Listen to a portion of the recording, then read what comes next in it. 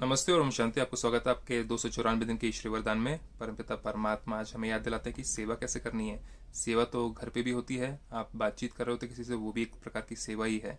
तो हम इस धरती पर क्यों आए हैं? औरों की सेवा करने के लिए, सेवा लेने के लिए नहीं। तो देखिये आज परमपिता परमात्मा कहते है इस वरदान में?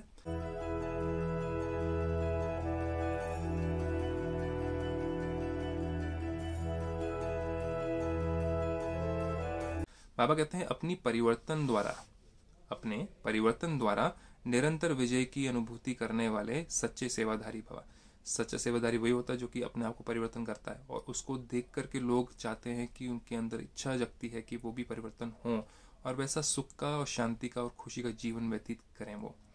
तो विस्तार में बाबा कहते हैं, जैसे निरंतर योगी बने हो, निरंतर योगी मतलब कि काम करते हुए, बातचीत करते हुए किसी से परमात्मा याद रहे ताकि हम अवगुण को यूज़ करने की जगह गुणों को यूज़ कर पाए। जहाँ परमात्मा भूल जाता है, जहाँ बाप चले जाता है, वहाँ पाप आ जाता है। बाबा कहते हैं कि अगर बाबा याद है, परमात्मा याद है तो आपकी बोल चाल भी जो होंगे, वो पवित्र निकलेंगे। सोच जो होगी, वो पवित्र हो रही होगी। आप बोलने से पहले सोच करके बोलेंगे। नहीं तो पाप के जो हमारे अंदर लक्षण होते हैं, जो हमारे संस्कार बने हुए हैं पुराने, हमारे अंदर ईर्षा घृणा के, वो ही निकल के आते हैं बाहर। लेकिन अगर हम निरंतर योगी रहेंगे, जैसे कि आप मेडिटेशन कर रहे होते हैं, चाहे आप बर्तन साफ़ कर रहे हो, झाड़ू लगा रहे हो, अपने अलमारी को साफ़ कर रहे हो, कपड़ों को मिला रहे हो आप, और चाहे आप घर का कोई भी कार्य कर रहे हो तो उस समय अगर परमात्मा याद है तो बीच में अगर कोई भी ऐसा विघन आता है तो उसमें आप सफल हो पाएँगे।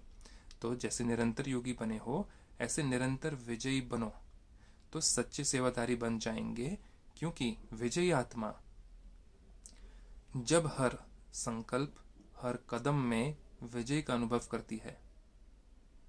तो उनका यह परिवर्तन देख अनेक आत्माओं की सेवा स्वतः होती है। आपने कुछ सोचा और उसमें आपको विजय मिली, आपने विजय प्राप्त करी।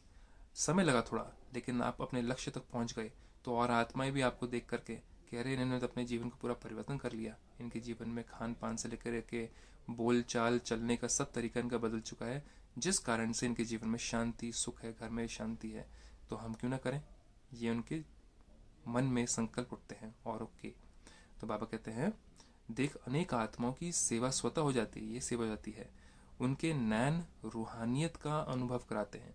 आँखों से उनके अंदर लोभ नहीं टपकता, लालच नहीं टपकता, वासना नहीं टपकती, लेकिन उनकी आँखों में देख करके और को लगता है कि मुझे भी ऐसी आँखें चाहिए। मतलब इतनी शांत आँखें, शीतल आँखें, जिसके अंदर कोई भी दुख नहीं है, चिंता नहीं है। वैसी आँखें तो वो कब आएगा? जब मन शांत होगा तो वो बाहर इस चेहरे पे भी दिखाई देता है। तो परमात्मा चाहते हैं कि उनके नैन रूहानियत का अनुभव कराते हैं कि हमारे नैन भी क्या कराएँ औरों को रूहानियत का अनुभव कराएँ। चलन बाप के चरित्रों का साक्षात कराती है। तो चलन कैसी है आपकी? कुछ बाधा आई तो आप पलट गए। आप किसी के सहयोगी बन रहे थे। कुछ प्रॉब्लम आई, आपने बिल्कुल अपना रास्ता ही बदल दिया। या आपने अपने जो वचन दिए हैं, उस पर ही चलते रहे। और आपने हर परिस्थिति में आपने गुणों को इस्तेमाल किया, ना कि अवगुणों को, उस परिस्थिति को पार करने के लिए। उसको कहते हैं चलन। तो चरित्र का साक्षात्कार कराती है। मस्तक से मस्तक मणि का साक्षात्कार होता है। मस्तक से क्या दिखता है उनके? मस्तक मणि, चमक रहा है चेहरा इनका।